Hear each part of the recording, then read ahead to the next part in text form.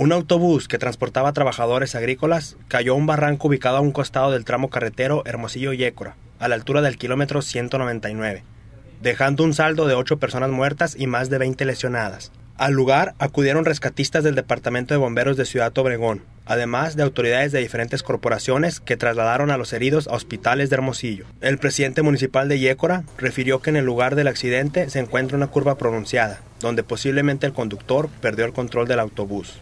Por su parte, el vocero de la Procuraduría General de Justicia del Estado, José Larrinaga Talamantes, informó que la pesada unidad procedía del municipio de Caborca, con destino a la localidad de Krill, Chihuahua. Los tripulantes del camión eran jornaleros agrícolas de la etnia tarahumara, que laboraban en los campos de Caborca. El autobús cayó al barranco una distancia de 45 metros. El percance se registró a las 6 horas de este jueves. Para el Rubén Cepeda.